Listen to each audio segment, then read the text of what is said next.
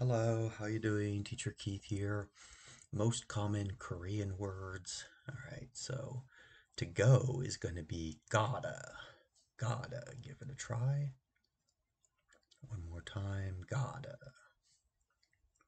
All right, and to give, to give is going to be juda. Juda. Give it a try. One more time. Juda. To respond to. Dahada. Dahada. Give it a try. One more time. Dahada. Year.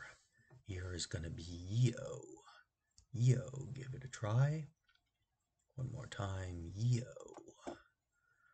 Okay, so there you have it. Annyeonghaseyo.